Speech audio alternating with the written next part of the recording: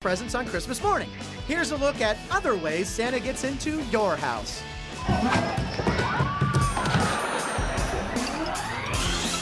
Sometimes he comes down the stairs or in through the cat door.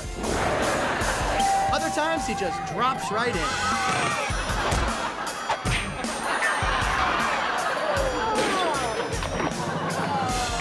He missed the target. Are you okay?